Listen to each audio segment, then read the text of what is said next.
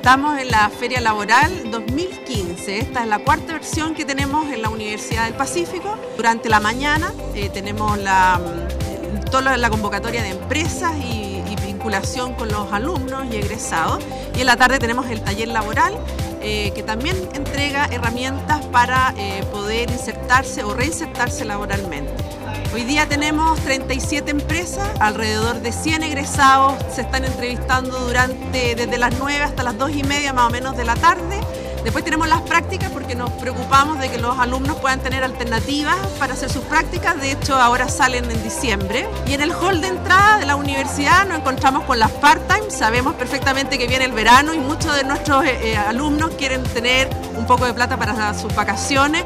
Y otra de las características bien interesantes de esta feria, que muchos egresados que tienen empresas han venido también para acá y a reclutar para prácticas o como para ofertas profesionales.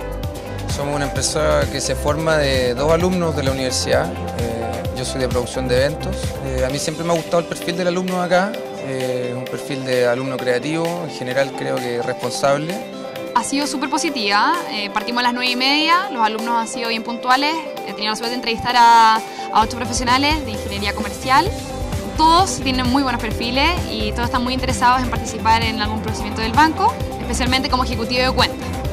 Hay algunos que eh, tienen su segunda carrera y se nota que ellos tienen más experiencia en, en cómo defenderse en una entrevista. Eh, postulé a Espacio Riesgo para garzonear en eventos o matrimonios, que encuentro que igual es algo bueno porque no te dedica todos los días eh, de la semana eh, un tiempo part-time. Encuentro una súper buena iniciativa, ya que te permite agarrar experiencia aunque estés en primero o segundo año, poder relacionarte mejor con trabajos y con el mundo laboral para así estar más preparado después cuando tengas que salir y hacer la práctica.